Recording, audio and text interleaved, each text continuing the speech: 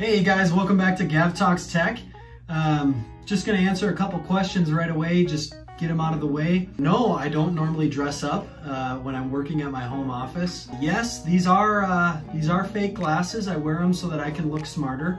You know, the blue light glasses are kind of the, the new trend. Uh, so always wanted to wear glasses even though my uh, vision never uh, never allowed me to. Yes, I moved to Bozeman, Montana for the winter. Uh, this is my office. I'm actually renting from a friend of mine. Um, I'm renting, you know, basically the basement of a, of a bigger house that he's been living at for a few years. It's been my dream to uh, be able to have a season pass at Big Sky. I've always wanted to do it, and the COVID-19 crisis actually has allowed me to make that dream a reality. Uh, remote work has become more possible. Um, I'm traveling a lot less. Unfortunately, not able to see my clients as much, uh, but I do get to ride this little guy over here um, and really looking forward to a, a, great season at Big Sky. But uh, let's uh, let's dive right in here. Um, I wanted to do a little story time, uh, story time, Gav Talks Tech uh, kind of deal. And uh, what we're talking about today is esports. Um, I personally thought that our sales director, Anna Hansen, was crazy when she said, we're going to start an esports line and people are going to work with us because uh, we work so closely with schools, colleges um, for custom PC hardware. Uh, I've never been a gamer myself, um, but I've started to get exposed to PC gaming when I started to work at Bytespeed. Um, we've actually had a gaming lounge at Bytespeed for the last five years of our own custom hardware. Really, really sweet space. Check the picture out. Anyways, uh, so one of the first schools we started to work with was the uh, University of North Dakota Jamestown. Um, pretty interesting that, uh, pretty interesting and innovative that a school in, you know, kind of central North Dakota would be such a, a pioneer in the esports realm in North Dakota and really at the time across the nation.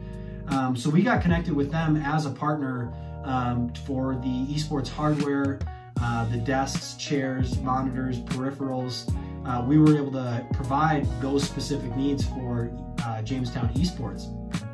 And getting connected with um, the technology director, Chris Hoke, who's been a great partner with us. Um, their team is growing. It's awesome to see the path that they're on. And also Josh Knutson, who's the former esports coach for the University of Jamestown Jimmies esports team. Um, getting to work with them had been an awesome experience.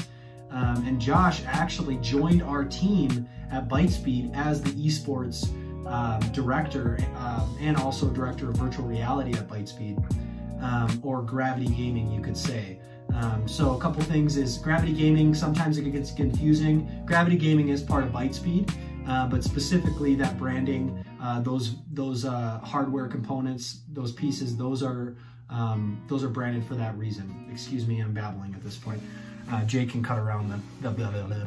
But uh, anyway, so um, that is why we've been able to be such a great partner to schools uh, and colleges is we actually have somebody who knows the collegiate esports realm and is heavily connected uh, with esports both in high school and college across the nation. And the passion that our team has for esports um, Josh, Jesse, Henry, the entire Gravity Gaming team um, has been able to provide a lot of value to the schools that are um, taking the jump and finally giving those students what they want, which is to start an esports team.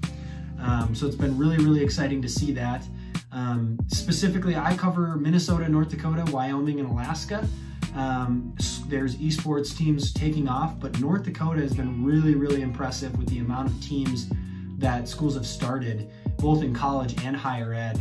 I actually have a list um, here and I think I have 10 North Dakota schools that we've worked with that are using Bytespeed, Gravity Gaming, computer hardware, and I think close to 10 colleges in the state. University of Jamestown, University of North Dakota, Dickinson State University, um, schools like Mandan, West Fargo, Fargo, Central Cass, Northern Cass, the list goes on and on. Um, and it's, it's great that we're a local partner, but we really can provide that same value to organizations across the nation. Um, there's schools in Now, Laramie County Community College in Wyoming, a longtime customer of Bytespeeds.